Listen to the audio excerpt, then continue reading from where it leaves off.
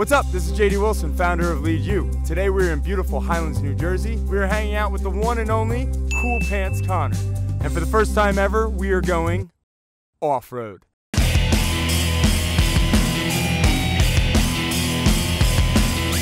The bike that I chose for Cool Pants Connor is the one and only Intense Spider. This thing has really cool handlebars, pretty fat tires, and I mean fat like P-H-A-T, and it is probably the coolest bike that we've ever had on this program. This is Educators on Bikes Getting All right, come on up uh, over, uh, all right. Come on in, Cool Pants. This is your bike, my friend. Beautiful. Yes, this is a 275 Intense Spider. Um, I chose this bike for you because um, a couple reasons. One, um, you've always always taken the path less traveled, the the off road, if you will. I, I, think that you are a little bit like a spider. It, follow me on this one. Yeah, I'll follow you. Um, and like the way you're like a spider is like this.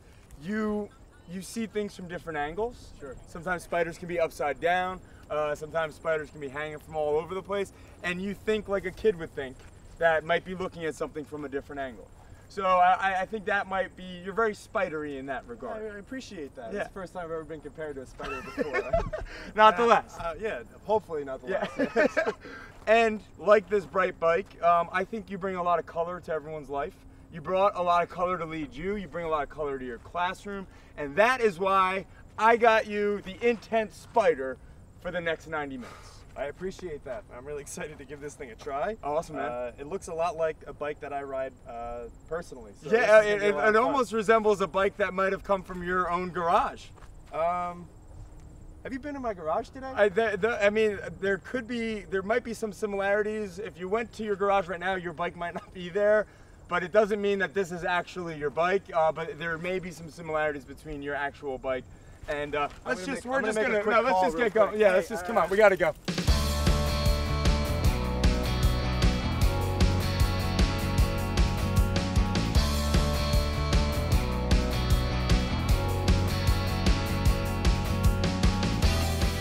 Say I've mastered it is like beyond beyond.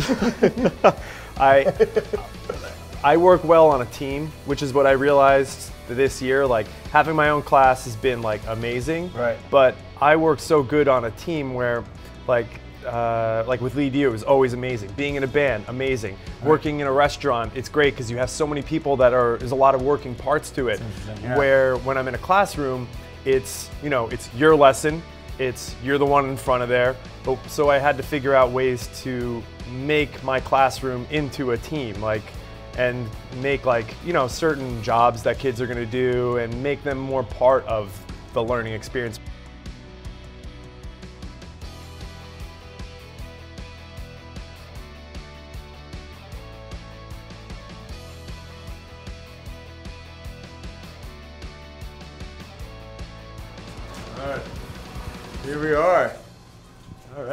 Good. Hey, hey how up, are man? you? I'm JD. How are you, JD? Uh, Connor. Connor, how are What's you? your name? Anthony. Anthony, that is an amazing shirt. Like that shirt? Yeah, Wu Tang. What's that about? Represent Wu Tang. Are you from around here? I'm actually from Staten Island. I moved here. This is going on my third year. This is going on my third season here, actually. Okay. And three years that I'm living here. From Staten Island, from yeah. Shaolin. Awesome. Oh, all right. Yeah. Original, huh? I'm an original. I'm an original Wu Tang guy. That's amazing. Well, you do you play any music yourself, or do you? I, do you do? I have a recording studio, so along with this business, I do that. Mostly that's mostly over the winter. I mean, I go back and forth during the summer. I have a partner, oh, okay. so he'll pick up spots here when I have to work there. And I work with Wu. I've been working with them probably uh, 25, 30 years, from pretty close to the beginning. Okay, wait, you work with Wu Tang? I record them, yes. I record them. I produce some stuff on Ghostface's albums and a lot of stuff actually. Oh my so, gosh. yeah, Have they it's been fun. here? And that is the they ha- they haven't been here, but Ghost did tell me probably about a month ago we were recording. He said, "I'm going to stop down to the shop. I want to hand some ices over." I want to know. I want to eat what Ghostface like. What do you think he would eat? yeah, I'll tell you. I'll tell you what what, his, I'm going to tell you what his new flavor is. His new flavor of choice. You mean his Wu flavor? it's, it's not a Wu flavor, but we should make a Wu flavor. He likes the chocolate fudge brownie, which I love too. oh, there you go. Because he likes the chewy brownies in it. Okay, Alright, yeah, I think in. we got to go with that. Yeah, we got to stick Gotta to whatever Ghost that. wants. Yeah, we'll get uh, we'll get one of those to start. You got it. Thank you. That's amazing.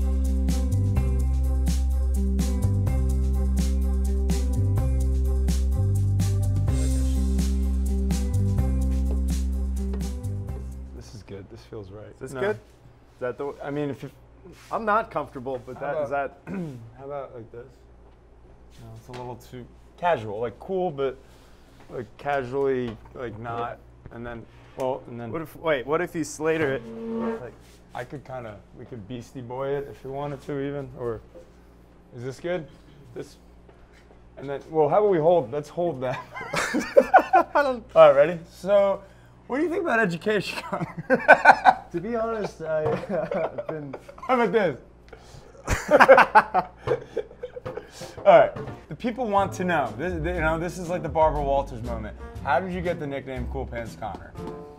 Uh, uh, when we were going up to, it was like one of our first out of state, out of state assemblies. We went up to State. uh, not Stockton, uh, Scranton? Scranton, Yeah, Scranton, was- Pennsylvania, home of the uh, white American cheese pizza.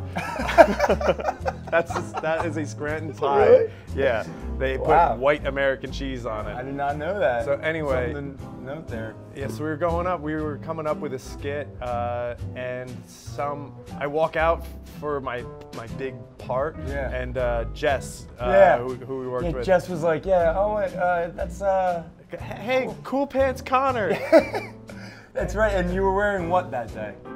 Corduroys.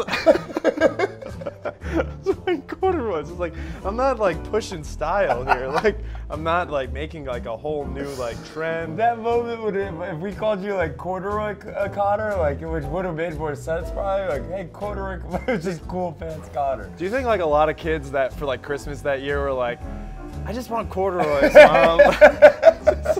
So they all they all call you antacid. So all of the womb, I- actually anybody that I do hip hop, I do a lot of hip hop also. So I do a lot of uh-huh. mix downs. I'm big with the mix downs and mastering. So I get a lot of clients that send me stuff right. to finish. So I do all the finishing touches, and everyone on that side of it calls me Antacid. Everyone on the house side, it's Anthony Acid. Yeah.